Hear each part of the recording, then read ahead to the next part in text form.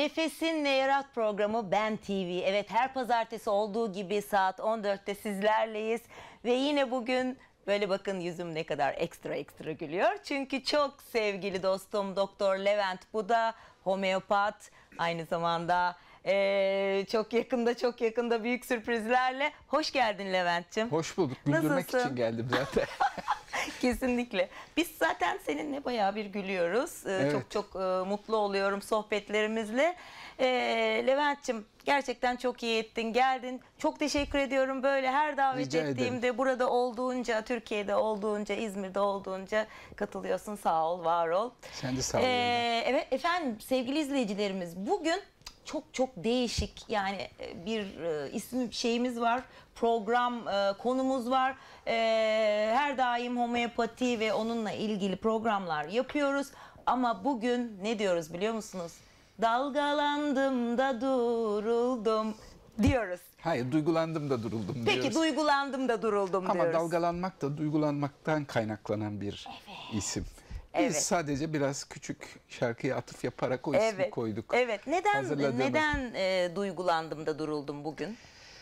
Yani şimdi aslında Yelda bizim bir şovumuz var biliyorsun. Evet, Ee, biliyorum. bir, Çok e, heyecanlanıyorum. Çok çok iyi bir şarkıcı bayanla birlikte hazırladık. Sevgili Selen Servi İstanbul'da Sevgiler. yaşıyor. Hmm, e, Selen'le böyle bir dost sohbetinde konuşup sohbet ederken niye dedik e, insanlar duygularını okuyamıyor. Yani duygu okur yazarlığından bahsetmeye başladık. Çünkü ben belki de konuyu ben açtım. Çünkü gün içinde gelen insanların hepsi bana hasta olarak stresteyim diyor. Peki strestesin de yani stres çok büyük bir kavram ve bu kavramın altında binlerce duygu var aslında. Duygusuz stres olmaz. İşte ne bileyim stresteyim ama öfkeliyim aslında. Stresteyim, endişeliyim. Stresteyim, hüzünlüyüm. Stresteyim, çok mutluyum. O da bir stres. Hedef insanların duygularını tanımasını sağlamak. E bunu nasıl yapacağız? Yani insanoğlu en kolay ne zaman öğreniyor? Eğlenirken öğreniyor. O yüzden de eğlenceli bir show eşliğinde yapalım diye böyle fikir böyle koşuştu beynimizde şey. E, ondan sonra da biz bir show hazırlamaya başladık. Önce bir metin yazdık. O metne yönelik şarkılar seçtik. Çünkü aslında şarkıların içinde duygular çok güzel anlatılıyor. Şarkı sözlerinin her biri çok özel şiirler. Bu şarkıları seçtik. Ondan sonra o metni tabii ki revize ettik. İşte provaları şu bu derken e, iş büyüdü. E arkaya görüntüleri koyalım dedik. Bilmem ne işte bir production'a yani bir e, yoğun bir çalışmaya döndü. Şimdi provalarını sürdürüyoruz. İlkini de inşallah 22 Şubat'ta İzmir'de gerçekleştireceğiz.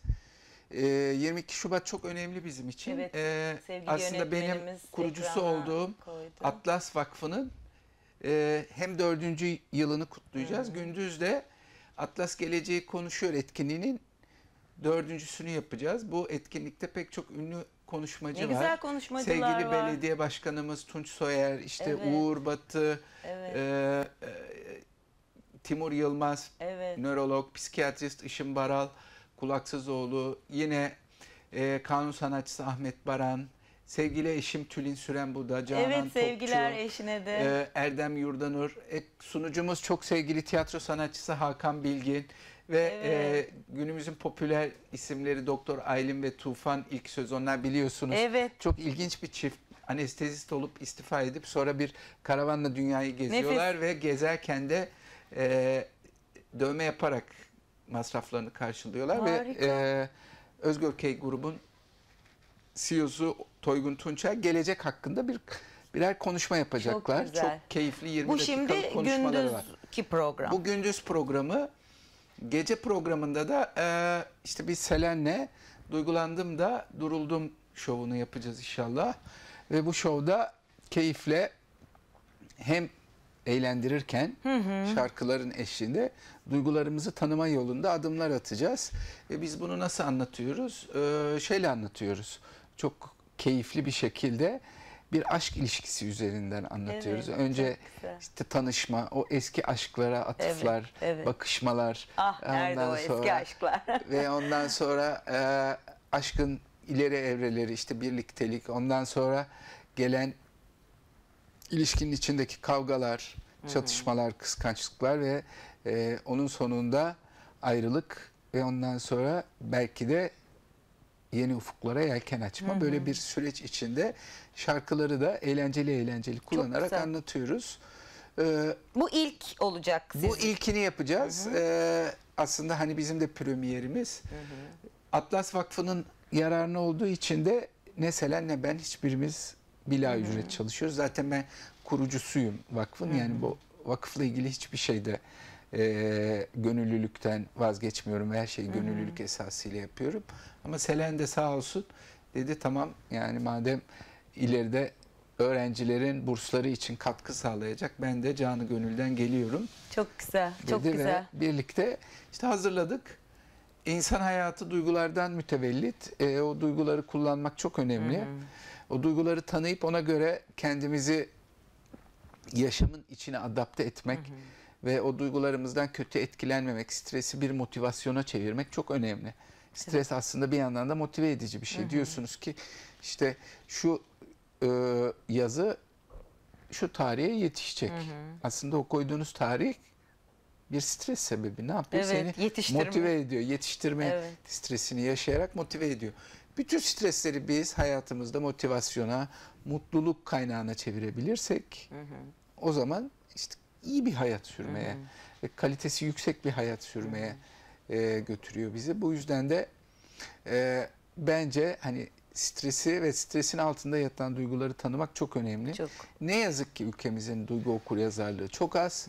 İşte bunu da geliştirmek çok önemli. Eğlenceli yoldan geliştirmeye çalışmakta bir çaba. Ne kadar deniz yıldızını kurtarıp denize geri atarsak bizim için o kadar büyük bir mutluluk. Ve insanlar da bir tık daha kaliteli hayat yaşarlarsa benim hekimlik mesleğimde yaptığım işlerin en güzeli, Evet. en mutlu edicisi, Evet. en iyi geri dönüşü sağlayanı duygusal olarak. O yüzden de ben de çok mutlu olacağım. Yani çünkü biz tıp fakültesine girerken çok temiz bir yürekle giriyoruz ve hedefimiz hep hastalarımızı ya da bizden medet uman insanları e, mutlandırmak, iyileştirmek. O yüzden de e, bu proje bana çok keyif veriyor. Bir yandan da hobilerimi de gerçekleştirmiş oluyorum. Çünkü yani konuşma yapmak benim için çok keyif verici bir iş. Bir hobiden artık yavaş yavaş bir meslek olmaya dönüştü. Motivasyonel konuşmacılık. Evet motivasyonel konuşmacılık işte ne bileyim insanların ve şirket içi sağlığını arttırmak veya homeopatinin şirket içindeki bazı alanlarda kullanımını geliştirmek amacıyla yaptığım konuşmalara bence bir ek oldu bu iş. O yüzden de çok keyif alıyorum. Ha, bir yandan da çok eğlenceli bir kısmı çünkü çok esprili hani bir e, stand-up'la şarkının birleşimi bir gösteri gibi bir şey. Keyifle bekliyoruz bakalım. Heyecanlıyız. nefes. Bir yandan da e, bunları tabii provaları var şu anda. Çok heyecanlı. Ben çarşamba günü tekrar İstanbul'a gidiyorum Selen Hanım'la prova yapmaya. Çok böyle böyle güzel, gidecek çok işte güzel. bakalım. Bazı, Yetiştireceğiz bazı inşallah. insanlara e, çok duygusal deriz. Bazı insanlara ne kadar duygusuz, duvar gibi işte e, duygularını mı saklıyor ya da duyguları mı yok deriz. E, gerçekten sıfır duygusuz yani duygusuz insan e, olur mu? Var mıdır? Bana göre yoktur. Saklayan vardır. Ha belki duvarlar örüyoruz önümüze. Evet, Böyle evet. yani duvarlar ören remediler var homeopatide. Mesela kalsiyum karbonikum e, deniz kabuğundan elde edilir. Yani istiridyeden. İstiridye nasıl bir canlı? Bir hani e, anafor yaratalım, bir düşünce anaforu ve oradan insan kimliğine geçelim. Onu e, ete kemiğe büründürelim. E, istiridye kaya üzerinde oturan hiç hareketsiz, e, içinde yumuşak bir e, canlı yapısı olan ve onun içinde de inciyi saklayan bir yapı. Ne yapıyor? Aynen böyle kayanın üzerinde otururken hafif kendini aralıyor. Açıyor, evet. Aradan geçen sıvıdaki, sudaki bütün bilgileri alıyor. Hem besin anlamında hem mineral anlamında hem ve onu süzüyor. Bazı ağır metalleri içine topluyor. bazı kötülükleri. Kalsiyum karbonikum homeopatide işte istiridye'den elde edilir. Şimdi kalsiyum karbonikum tipini anlatalım birazcık. Anlat. Aynı midye gibi çünkü ya da işte istiridye gibi. O da çok oturmayı seven bir e, konstitüsyon ya da birey. E, oturduğu yerden ama bütün çevreyi kontrol ediyor. O yüzden mesela bence muhasebe gibi dikkat çok dikkatli, matematikle arası fena değil. O yüzden muhasebe gibi pek çok şeyi kontrol edebileceği şirketin önemli yerlerinde çalışabilecek bir karakter. İçi yumuşacık. O yüzden de yumuşak kısmını saklamak adına dışını sertleştiriyor. O yüzden de dışarıdan onu çok sert görebiliyoruz. Ama içi yumuşacık. Çünkü Öyle ortasında deriz ya. Ne kadar sert görünüyor ama ne kadar duygusal. Evet, içinde bir e, inci var. Çok değerli. İnsanları kırmak istemiyor ama işinin de gereği olarak zaman zaman kendini kapatıyor ve çevreyi kontrol ediyor. Aradan aldığı ufak uyarılarla. O yüzden de iyi bir yönetici kimliği. Ama bir dezavantajı var. Oturduğu yerde çok kontrolcü ve oturduğu yerde çalışmayı sevdiği için şişmanlıyor. O yüzden de içindeki o yumuşaklık dışına vuruyor. Yumuşak yumuşak pof pof bir görüntüsü var dışarıda. Ee, e, kalsiyum adı kalsiyum karbonikum. En çok neyi sever yemek adına? Yumurtayı sever. Çünkü yumurtanın içi de kabuk, dışı kabuklu, içi yumuşak ve kalsiyum barındıran bir yapısı var. Kalsiyumdan bir kabuğu var. O yüzden yumurtayı seviyor e, genel olarak. Böyle bir karakter veya başka bir karakter var. Natrium muriaticum. Deniz tuzu. Deniz tuzundan elde edilen homeopatik remedi. Natrium muriaticum'un temel özelliği çok bir kere mineral. Mineral nasıldır? Köşelidir. O yüzden natrium muriaticum da köşeli. Ee, yani çok kuralcı ve kararlı. Ee, o da kendini pek açmıyor dışarıya. Sert dışarıya karşı. Çünkü çok kuralcı. Ve kurallarının yıkılmasına asla izin vermiyor. O yüzden yalnızlığı daha çok tercih eden ve kendi hüznünü de mutluluğunu da kendi içinde yaşayan çok e, kontrollü bireyler. Mesela Almanya total remedi olarak çok natrium muriaticum'a uyuyor. Mesela işte kurallar. Tren 12'ye 13 geçe kalkacak, 12'ye 13 geçe kalkıyor. Otobüs 17.35'te gelecek, 17.35'te otobüs Yani gelip bizdeki kapısını gibi değil. Yani ama bizim de başka bir avantajımız var. Bizde de temperament denen hani iç sıcaklığı dışa vuran bir halimiz var. Çok çok canlıyız. Çok sokakta yaşıyoruz. İnsanlarla çok komünikatifiz. Sosyal yanımız çok kuvvetli. Ha bazen bu biraz öteye gidip hani dedikodu ya da hasetliğe girebiliyor ama hani sonuç itibariyle biz birlikte olmaktan güçlü hisseden bir toplumuz. Ve bu kısmımız bizim en önemli, en kuvvetli yanımız. O yüzden de bu birliktelik kavramı çok iyi kullanılırsa Türkiye çok hızlı gelişecek ve bir arada olmakta çok hızlı adımlar atacak bir ülke. Potansiyeli çok yüksek, nüfusumuz çok genç ve üretken. Bunu kullanmak çok önemli. Ee, iyi eğitimler ve yatırımlarla insana yapılacak Türkiye çok hızlı adımlar atabilecek bir ülke bence. Potansiyeli çok geniş bir ülke. Bu arada e, hem astrologlar hem spiritüel uzmanlar diyor ki 2020'den sonra birlik bilincinin yükselişiyle birlikte e, daha çok insan birlik bilincine katılacak ve sentezler, birliktelikle birliktelikler, ortaklıklar yapan insanlar, kurumlar ve ülkeler çok daha yük- yükselişe geçecek diyorlar. İnşallah biz de birlikteliğin Dileriz. gücünü fark ederiz ve bundan birlikte gelişerek güçleniriz. Şimdi aslında günümüz homeopatik bakış açısıyla kronik hastalıkları anlatan Hahnemann'ın özel tabloları var. Ee, özel bir tabloya uyuyor Calcinosinum dediğimiz bir endişe dönemindeyiz biz aslında. Bütün dünya bak. Bütün sadece dünya Türkiye'den global bahsetme anlamda bir kaygı. bir kaygı var. Evet. Ve bu kaygıdan dolayı insanlar bir araya gelip güçlenme arzusu içindeler. O yüzden de uluslararası örgütler kuruyorlar. Birleşmiş Milletleri kuruyorlar, Dünya Sağlık Örgütü'nü kuruyorlar. Neden? Çünkü Birleşmiş Milletleri işte bireysel korunma ve bir arada olma güçlüğü yüzünden. Dünya Sağlık Örgütü niye? İşte bulaşıcı hastalıklardan, şunlardan bunlardan doğan endişeden korunma mantığı ya da işte e, günümüzün belki bulaşıcı hastalık değil ama e, epidemi gibi yayılan bazı hastalıkları var biliyoruz işte. Yeni isimlenmiş ya da çok eski isimleri de olan sayılarını arttığını düşündüğümüz hastalıkların endişeleriyle Dünya Sağlık Örgütü'nü kur- Mesela ticarette kötü duruma düşmek, işte ne bileyim e, büyük kayıplar yaşamamak adına o endişeyle kurulmuş Dünya Ticaret Örgütü var, World Economic Forum var gibi gibi gibi gibi işte e, yine savaşlardan işte halkını korumak adına kurulmuş pek çok uluslararası örgüt var. Bu örgütler aslında günümüzün e, endişe çağının sonuçları. Ülke içinde de aynı şeyi yapmak lazım. Güçlenmek için bir arada olmak lazım.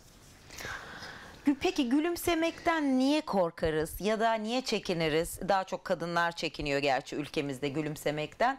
Oysa ki gülümsemenin o kadar çok yararı var ki eee, sanırım bir insan hasta olduğunda bile gülümsememi, gülümsemeyi unutmamalı ki eee, o hastalıkla daha rahat başa çıksın. Ne diyorsun gülümsemekle, gülmekle, kahkaha atmakla ilgili? Ben çok gülen bir adamım biliyorsun Evet. yani. Ee, benim eşim de güzel güler. Evet ne güzel. Ee, çevremdeki insanlar da hep güzel kahkaha atan insanlar. ne güzel, ne güzel. Şimdi gülmek hani iyileştirir diye bir dernek var Türkiye'de mesela hani gülmek iyileştiren bir şey. Şahane bir dernek. Hastaları da güldürmek lazım. Çünkü siz hastayı güldürürseniz hasta da sizin yüzünüzü güldürür. Çünkü vereceği geri bildirimler her zaman daha e, artı. Gülümsemek çok önemli bir şey o yüzden. Ben mesela biliyorsun bir ayağım yurt dışında. Eşimin işi yüzünden. E, şimdi ben e, Avrupa'da pek çok ülkede belli dönemlerde yaşadım. E, hala da yaşamaya devam ediyorum. E, bu sabah çıkıyorsun mesela bir yere gideceksin işte ne bileyim bir toplu taşıma biniyorsun. Göz göze geldiğinde insanlar birbirlerine gülümsüyor ve günaydın diyorlar kendi dillerinde. İşte bu Fransa'da bonjour oluyor, Almanya'da guten morgen oluyor, İngiltere'de good morning oluyor. Bizim ülkemizde de günaydın bizim dilimizde. Bunu çekinmemek lazım birbirinden. Evet. Bir sabah selamı Yanlış anlaşılır mıyım? Bu yanlış anlaşılma bence kötü bir yanlış anlaşılma. Biraz kültürel evet. Biraz belki de kültürel. Evet. Çünkü insanlar birbirine günaydın dedikleri için birbirleri hakkında kötü düşünmemeliler. Evet. Tabii ki. Yani bizim inanç sistemimizin içinde de yani biliyoruz ki Türkiye Müslüman bir ülke ve Allah'ın selamı diye bir şey var. Aynen. Aynen. Yani o da aynı şey. Evet. evet. Kendi dilinde ha, ha Arapça "Selamun aleyküm, "Selamun aleyküm" demişsin. demişsin. Ya ha Türkçe? sabah günaydın ya da Evet. merhaba demişsin. Bunu çağa uygulayabiliriz yani. Evet yani birbiriyle selamlaşmak e, çok özel bir şey ve bu çok gerekli bir şey. Çünkü insanlar sosyalleşerek var oluyorlar. İsa'dan önce 4000 yıl önce aktarılmış bir bilgi var. Bu bilgi diyor ki önce bir vardı, birden iki oldu, ikiden sonsuz oldu. Şimdi tabii ki sonsuz değil ama milyarlarca insan yaşıyor. Bunu ifade ediyor. Ve bu sonsuzun içinde diyor yaşam enerjisi akması lazım. O yaşam enerjisi bu sonsuzların kendi içinde akması lazım. Birbiriyle iletişim kurması lazım. Ve sonra da birle arasında akması lazım. Yani Allah'la akması lazım. Dua etmek ya da meditasyon yapmak aslında hani bir kısmı hani bazı kimseler meditasyon diyorlar bazı kimse ama dua etmek bir meditasyon alıştırmasıdır. Aynı şey Ve yol yere gidiyor. Yukarıya Evet. Allah'a gidiyor. Tabii. yani bu dini kaynaklarda farklı bir dille söyleniyor. Başka bir kaynakta farklı bir dille söyleniyor. Ama aslında bilgi Aynen. tek. Tek. Aynı bilginin farklı söylenimleri. Yani İsa'dan 4000 yıl önce söylenmiş. Bu sonra beşeri dinlerde söylenmiş. Demek ki böyle bir bilgi var. Bunu iyi kullanmak lazım. Bu kullanım bizi yani tıbbi araştırmalar da var. Yani işte insanların dua etmelerinin iyileşmelerine katkı koyduğu, Evet, gülümsemelerinin ya da gülmelerinin eee, iyileşmeye katkısı olduğu. Biz birey olarak iyileşirsek bir arada birlikte olduğumuz Bire toplumu da Evet. bütünü de iyileştireceğiz. Bu Evet. bir- böyle bir şey.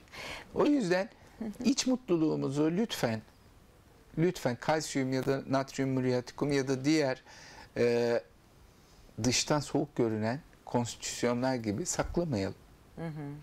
Ki Almanlar hani çok köşeli natrium muriatikum olup çok kuralcı da olsalar sabahları göz göze geldiği insanlara bir selam verirler. Hı hı.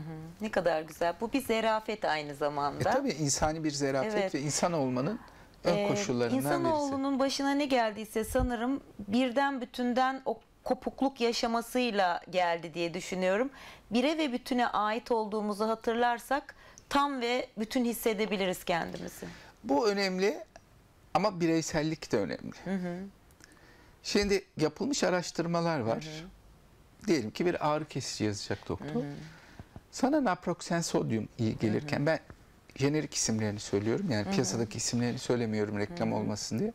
Sana naproxen sodyum iyi gelirken bana diklofenak iyi geliyor. Şimdi bunlar ikisi de aslında ağrı kesici. Benzer mekanizmalar üzerinden e, iyileşmeyi sağlıyorlar. Yani ağrıyı kesiyorlar. Ya da baskılıyorlar. Ya da ortadan kaldırıyorlar. E, ama sende o iyi geliyor, bende bu iyi geliyor. Bu bireysellik. Bu bireyselliği unutmamak lazım. Bireye özelliği. Şimdi bana hasta geliyor. Ben e, homeopat olarak onunla ilk görüşmede onun bireyselliğini ortaya çıkarmaya çalışıyorum. Bütünün içindeki bireysel tavırlarını. Migren mesela. Senin migrenin var, başının sağı ağrıyor. Benim migrenim var, başımın solu ağrıyor. Seninki zonklar, tarzda benimki zonklamıyor. Sanki sıkıştırılır gibi ağrıyor. Seninki patlayacakmış gibi ağrıyor falan falan. Binlerce farklılık var ve subjektif farklılıklar bunlar. Ama bu sub- subjektif farklılıklar yani öznel farklılıklar senin kendine has bireyselliğini ortaya çıkarıyor. Evet, homeopatide migrende kullanılan 400'e yakın ilaç var. Ben 400'den 1'e ulaşmam lazım seni iyileştirmek için. İşte o senin bireysel farklılıkların benim için önemli. Seninki sıcakta iyi oluyor, benimki soğukta iyi oluyor. Ne kadar çok Seninki ayrıntı hareketle var. iyi oluyor, benimki e, sabit dururken iyi oluyor. Seninki ayaktayken iyi oluyor, benimki yatarken iyi oluyor. Binlerce farklılık var. İnanın homeopati tıp fakültesinde öğrendiğim e, tıptan çok daha zor. Ama bir keyifli tarafı var. Bulmaca çözüyorsun. Her yeni gelen hasta bir bulmaca ve öğrenme süreci. Biliyorsun ben öğrenmeyi çok seviyorum. Yani sürekli okuyan, bir şeyleri takip eden, yeni yayınları takip eden bir yapım olduğu için her hastada benim için bir öğrenme süreci olarak e, tekabül ediyor ve ben oradan mutlaka o hastadan bir şey öğreniyorum. Peki e, hazır sırası gelmişken duygulardan bahsederken homeopati için sana geldi birisi e, ama işte nedir problemin diye sorunca e, anksiyetem var işte e, kaygı, endişe. Yani bunu e, bir psikoloğa gitsin ya da gitmesin. Buna iyi gelen o minik ilaçlardan e, var mı homeopatide? Var. Var. Ta- Şimdi homeopati hastayı değerlendirirken aslında hastalığa bakmak lazım ve belirtiye bakmak lazım. Şimdi hastalık homeopatik felsefeye göre bilinçte ortaya çıkan bir dengesizlik. Eğer bilinçte her şey dengedeyse bu vücuda bir bilgi olarak aktarılıyor ve hormonlarımız düzgün salgılanıyor. Ee, sinirler arası iletimi sağlayan transmitterler düzgün salgılanıyor. Ee, enzimlerimiz metabolizma içinde dengede çalışıyor ve biz buna sağlık diyoruz. Hastalık ortaya çıktığı zaman aslında bilinçte ortaya çıkıyor. Ve ondan sonra vücutta, fizik bedende işte o her şeyin yanlış dengesizliği sonucu işte ne bileyim hormonlar dengesiz salgılanabilir, enzimler düzgün çalışmayabilir veya hücreler arası iletişim ya da sinir hücreleri arası nörotransmitterlerle ortaya çıkan iletişim bozulabilir. Ki işte mesela serotoninle ortaya çıktığı zaman biliyoruz ki ya da dopaminle eee, depresyon ortaya çıkıyor, endişe ortaya çıkıyor. Bunlar dengesizlik olarak aktarıldığı için fizik bedende ağrı gibi bir şikayet ortaya çıkarken zihinde de depresyon, endişe, işte ne bileyim kaygı veya korku veya zihne ait bulgular ortaya çıkabiliyor. Huzursuzluk olabiliyor. Biz bunları da değerlendiriyoruz. Bu belirtiler aslında bizim için birer dost. Çünkü dirseğim ağrıyor. Ağrıdığında ben oraya dikkat ediyorum. Ha diyor bak içeride bilinçte bir şey var. Bu buraya ağrı olarak yansıdı ve bu ağrıya dikkat etmemi sağlıyor. Diyorum ki işte sıcak kötü geliyor, işte ne bileyim hareket kötü geliyor ya da iyi geliyor gibi gibi şeylerine dikkat ediyorum ve ona göre önlem alıyorum. Mesela hareket kötü geliyorsa ben bu dirseğimi oynatmamak istiyorum. Ne yapıyorum? Bir bandaj yapıyorum belki azaltmak için hareketini. Biraz oradaki kasları ya da işte eklemin bağlarını dinlendirmek için daha sabit tutmaya çalışıyorum ki bu ağrı geçsin. Ağrı bu anlamda ya da bütün belirtiler bu anlamda ya da e, şikayetler bizim için birer dost. Evet çok zor ağrıya katlanmak ama dost acı söyler. Yani dostun söylediği acı bizim için aslında bir uyarıdır. Bu dürüstlüğe katlanırsak gerçek hastalığımızı çözebiliriz. Bu bir kısmı. Diğer kısmında zihinde de değişiklikler oluyor. Diyelim ki nezle oldum. Evet biliyoruz üst solunum yolu enfeksiyonu, nezle. Bugün nerede koronavirüs konusunda Evet, da evet, biraz evet, endişelerimiz var. Ama sonuç itibariyle bu nezle veya üst solunum yolu enfeksiyonu veya grip ortaya çıktığında zihinsel sonuçları da var. Birisi diyor ki ben benim bir şeyim yok. Ben iyiyim, gayet iyiyim. işe gidiyor.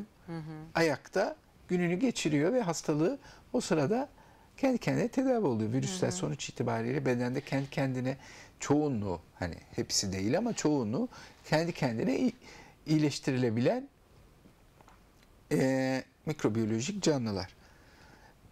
Bir diğeri diyor ki ben e- yatmalıyım. Dinlenmem lazım. O yatmalıyım diyenin bir tanesi evde arka odada yalnız tek başına yatıyor. Kimseyi yanına yaklaştırmıyor. Ben diyor hastalığımı kendi kendine, kendi yalnızlığım içinde çekerim. Yorganı başının üstüne çekiyor ve yatıyor. Bir diğeri salonda yatmak istiyor. Yanındaki işte annesi ya da işte eşi, her kimse birlikte olduğu kişi ona biraz ilgi alaka göstersin istiyor. Bir tavuk suyu çorba yapsın, nazlanıyor. Ya Evet. da bir ıhlamur kaynatsın gibi gibi. Şimdi bunlar homeopati için çok önemli. Biz ilacı seçerken fizik bulguları alıyoruz. Piramidin tabanı. Genel bulguları alıyoruz. Onlar da fizik. Yani işte genel bulgular bütünü etkileyen bulgular. Şimdi lokal bulgular mesela dirsekteki bulgu. Mesela dizindeki bulgu ya da midendeki bulgu. Genel bulgular bütünü etkiliyor. Ateş, halsizlik işte gibi gibi. Ondan sonra en üstte bizim asıl ilaç seçmemize faydası olan kısım zihin. O yüzden de sen dedin ya anksiyete, zih anksiyete bir hastalığın zihinsel sonucudur. Ha bu arada söylemem gereken çok önemli bir şey var. Her hastalığın altında bir zihinsel temel olabildiği gibi her hastalığın da zihinsel sonuçları vardır. O yüzden de bunları bir arada değerlendirmek homeopatide ilaç seçimini ve tedaviye giden yolun doğruluğunu bize kanıtlar ve kolaylaştırır. Harika. Yeni kitap var mı? Var. Harika, o da harika. Yani e, şimdi üçüncü kitabı üzüntü üzerine yazmayı planlamıştım. Yarısını da yazdım, bitirdim. Ama bu arada bakıyorum ki e, çok fazla halsizlikler var, yorgunluklar var. İşte burnout denen hani e, tükenmişlik sendromu denen bir şey var ve bunların hepsi çok güçsüzlüğe neden oluyor. O yüzden de güçle ilişkili bir kitap yazmak istedim.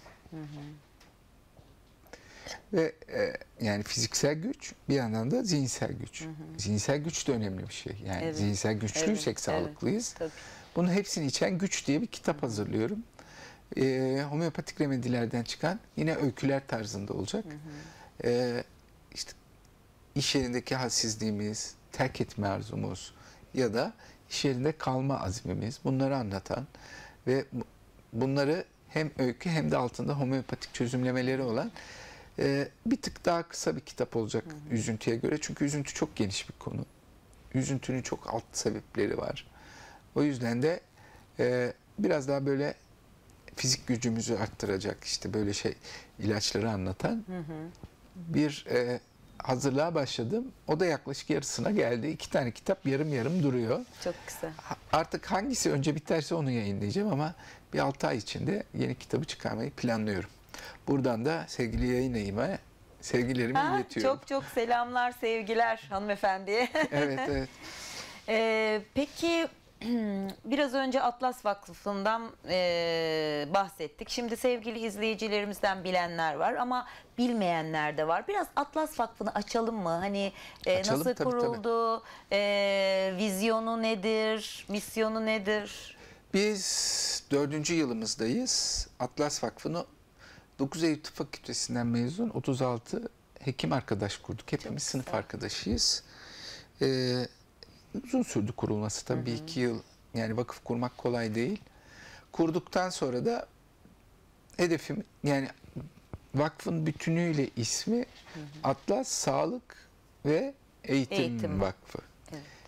Ee, hem sağlığı geliştirme hem de e, eğitimi geliştirme amaçlı bir vakıfız ve e, bir yandan da topluma olan toplumdan çok şey aldık, çok şeyle beslendik biz hekimler.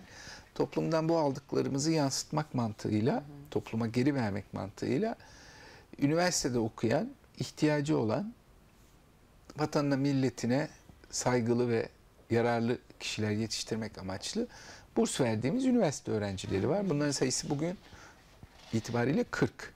Ama bunu tabii her sene e, arttırmayı hedefliyoruz. Bu amaçla e, Efendim. Bu arada ben sessizdi ama Sessizdi ama illa beni duy dedi herhalde. ben Geçen- ben de anlamadım. Geçenlerde benim de başıma şey geldi alalım. eğitimde. Sessiz evet öyle bir şey kendi kendine. Siri, Siri kendi kendine konuştu. Evet. E, hedefimiz tabii işte vatanına, milletine e, hayırlı, düzgün, e, çalışkan öğrenciler yetiştirmek. Bu amaçla biz e, Atlas Vakfı'nı kurduk ve çalışıyoruz. E, bu amaçla hem çocuklara burs veriyoruz hem de onların kişisel gelişimlerini arttırmak amacıyla pek çok eğitime e, ücretsiz onları alıyoruz. Mesela işte bunlardan bir tanesi sofra kültürü, bir tanesi sunum teknikleri, Çok güzel. işte görgü. Çok ben de çok Ya- istiyorum bir gün onlara nefes anlatmak, nefes İnşallah. anlatmak. İşe yani gönüllü olan herkes Tabii gönüllü olarak. Hı. e, vakıfta çalışma özgürlüğüne sahip gö- gönülden. E, ne bileyim işte gelecekte insan kaynaklarında nasıl çalışılır, şurada nasıl çalışır, burada nasıl çalışır. Tabii bunların Onlarla hepsi ilgili- çok e, yüksek ücretlerde pazarlandığı Kullanıldığı için. bu çocuklar hani altyapıları düzgün olarak geliyorlar ve e, güçleniyorlar. E, ileride işte hani iş hayatında oldukça başarılı olacaklar diye düşünüyorum ve onlar kendi başarılarından kaynaklanan güçleriyle Atlas Vakfı'nı daha da geliştirecekler. Bizden bir adım öteye götürecekler. Peki onlar 5 yıl tamamladı, mezun oldu. Sonra bir yenileri mi? Yani Tabii tabii mezun oldukça yenilerini ekliyoruz. Yani bu sayı bugün 40, yarın kim bilir kaç. önümüzdeki sene kaç olacak bilmiyorum. Yani biz bütçemizi planlıyoruz. El, kasamızdaki paramıza bakıyoruz. İşte neler yapabiliriz? Bunlar bunlar hedefleniyor. Yıllık bütçe planlanıyor. Ona göre e, O çocuk zaman sayısı bu e, belirleniyor. etkinliğe sevgili izleyicilerimiz e, Atlas Vakfı'nın bu e, güzel etkinliği İzmir'de olacak biraz önce de ilan etti sevgili Levent. E, lütfen e, ayın 22'sinde hem gündüz bu değerli konuşmacıların sunumları akşamda sevgili Levent ve partnerinin e, harika gösterisi için lütfen ayrı ayrı satılan veya bir bütün halinde daha da uygun fiyata gelen e, bu etkinliği kaçırmayın. Sadece bir etkinlik olarak düşünmeyin bunu e, çocuklarımıza katkı diye düşünün. Evet bence de yani bir yandan eğleneceğiz. Nefis. Bir yandan da çocukların gelecekleri için katkı koyacağız. Nefis. Yani bu muhteşem bir şey. Muhteşem, E, muhteşem. yani dördüncü yılımızdayız. Ba- bayağı iyi gidiyoruz diye çok düşünüyorum güzel, ben. çok Hani güzel. e, çocuklar da çok keyif alıyorlar bizle Doktor, birlikte olmaktan. doktorların bir kısmı İzmir'de bir kısmı İstanbul'da mı bu bahsettiğim Yani e, şimdi hepimiz sınıf arkadaşıyız ya da işte e, okul arkadaşıyız. Bir iki sınıf alttan ya da üstten arkadaşlarımız da var. Bir kısmı İzmir'de, bir kısmı İstanbul'da, bir kısmı Türkiye'nin diğer şehirlerinde. Bir tane Londra'da arkadaşımız var. E benim bir ayağım Cenevre'de falan böyle. İşte bu bir şekilde yani sonuçta her şey artık elektronikleşti. Evet. Hani biz de vakfa olan sorumluluklarımızı elektronik bankacılık üzerinden yapıyoruz. Tabii ki. yani tabii ki. bu kolay imkanlar bazı şeylerin yapılmasını da kolaylaştırıyor tabii yani. O yüzden herkes hem bağış yapabilirler, biletleri de hani şey üzerinden e, bağış olarak internet üzerinden alabilirler. Önemli olan zaten hani çocukların geleceklerine katkı koymak. Çok mutluyuz biz böyle bir sosyal projenin içinde olmaktan ve onlarla bir arada olup e, keyifli keyifli onların gelişimlerine katkıda bulunmaktan. Çok güzel. Aa, güzel işler. Ee, bu işler çoğaldıkça bire bütüne ve tabii ki kendimize de e, katkıda bulunmuş oluyoruz aynı zamanda. Ee, iyi hissetmek denen bir kavram var son yıllarda dünyada çok konuşulan. Ee, merhamet gösteren, şefkat gösteren, yardım yapan işte bu iyi hisse sahip oluyor. Ne dersin? Evet, bu konuda haklısın ama öz şefkat de çok önemli. İnsanın kendine öz şefkati de çok önemli. Çok. Bununla ilgili e, alıştırmaları da yapmak, mindfulness yapmak, Evet. mindfulness alıştırmalarının içinde olmak, e, bazı konularda işte etkileri, tepkileri yaptığımız alıştırmalarla kendimizi hazır bulundurmak, birden öfkelenmeyip belki bekleyerek bazı çalışmalar yapmak Zaten çok önemli. sevmeye başlamak, önce kendinden başlamak lazım. Çünkü ben şuna tabii. inanıyorum. Kendini çok seven başkalarını da rahatlıkla sevebilir. Ben son zamanlarda Louis Hay'in ayna çalışmasını yaptırıyorum. Çünkü o öz şefkati, o öz merhamet, o öz sevgiyi eee, kadıncağız rahmetli bir aynaya baktırarak o kadar güzel bir hazırlamış ki o şeyi kompozisyonu çok Evet. iyi hissettiriyor. E tabii yani şimdi yani tabii kendi öz sevgin ayrı, öz şefkatin ayrı.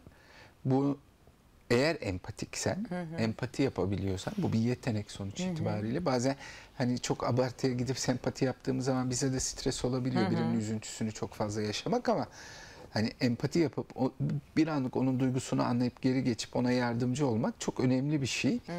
Ee, ama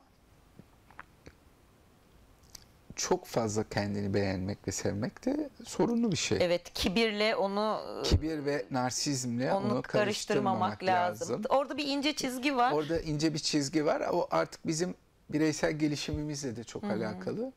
O yüzden e, aslında hani her şey yin terazisi belki de vicdan.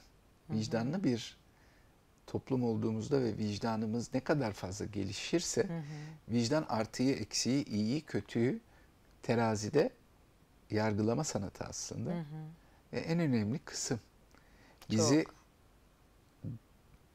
yaptığımız tercihlerde iyiyi ya da kötüyü seçmek ya da kötüyü seçmek demiyorum aslında herhalde o birazcık da duygularla alakalı bir şey. İnsanoğlu birden böyle bir an duygusuna yenilip e, bazı kötü kararlar verebiliyor.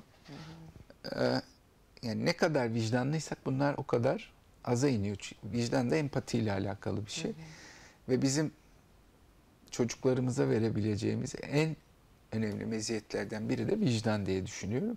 Vicdanlı insanlar kesinlikle daha mutlu oluyorlar. Bu bir gerçek. Evet, evet, evet. Ee, sevgili Levent'ciğim programımızın sonuna doğru yavaş yavaş gelirken... Ne çok konuştum Yelda. Hayır ne çok konuşmadın. Çok güzel konuştun. Bana kalsa oho bir iki saat biz böyle konuşuruz ar- e, ardı ardına. Soru cevaplar ve soru, soruya da gerek yok. Ee, çok akışta olmak seninle çok keyifli. Sağ ol, Ek- Eklemek teşekkür ederim. istediğin bir şey var mı lütfen? Anda kalın, mutlu olun, gülün, gülümseyin ve gününüzü gün edin. Çok çok teşekkür ederim. Çok güzel mottolar bunlar. Ee, en kısa zamanda yeniden görüşmek üzere. Bak nasıl sözümü de kaptım şimdiden. evet, iyi tamam geleceğim söz Tamam tamam. Peki teşekkür ediyorum Ben sevgiler. teşekkür ederim. Sağ ol. Evet efendim sevgili Doktor Levent Buda'yla çok keyifli bir sohbet yaptık. Lütfen 22 Şubat'taki etkinliği de bir kenara yazın. Efendim eee Yelda Çetiner'in e, 22-23 Şubat'ta Ankara'da bir programı var. E, Mandala e, Yaşam Atölyesi'nde. Burada iki farklı workshop, kendini sevmekle ilgili Kalbini Sev Atölyesi ve e, Doğru Aşkı Bulma Atölyesi. Evet, aşkta bulunur muymuş? Arayan her şeyi bulur. E, ve, ve de bireysellerim olacak. Ee, bana özelden yazabilirsiniz. Ayrıca 14-15 Şubat'ta İzmir'de e, uluslararası sertifikalı holistik nefes koçluğu eğitim programı var. Evet sosyal medyamdan bana rahatlıkla ulaşabilirsiniz sevgili Doktor Levent Buda'ya. Ee, sorularınız için sosyal medyasından rahatlıkla ulaşabilirsiniz. Web adresi hem de bütün sosyal medyalarından.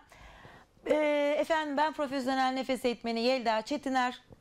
Her pazartesi 14'te Ben TV'de Nefesini Erat programında sizlerleyim. Haftaya görüşene, görüşene dek hoşça kalın. Tıpkı Levent'in dediği gibi anda kalın, gülümsemekle, akışta kalın. Ee, sevgilerimle efendim.